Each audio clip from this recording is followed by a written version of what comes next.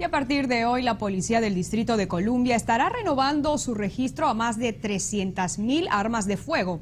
Bajo las leyes del Distrito de Columbia, toda persona que posee y use armas de fuego tiene que registrarlas cada tres años. Además de llenar un formulario en las oficinas de la policía de DC, los portadores serán sometidos a una investigación criminal, a fichar sus huellas digitales y pagar 48 dólares por el proceso. Quienes no cumplan podrán enfrentar multas de hasta mil dólares o un año de cárcel.